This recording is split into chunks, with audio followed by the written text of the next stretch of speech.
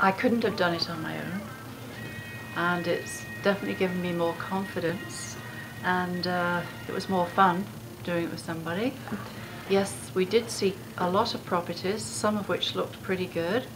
Um, surprisingly, some of them were not as good as what they appeared on the outside, and you find there's a lot of problems with them, which could be costly. But uh, yes, we did see some that I thought I might make some offers on. Excellent. Would you do it again if you uh, could do it? Yes, I would, Okay, great, great. Without Any, any last, uh, even though I'm very tired. yeah.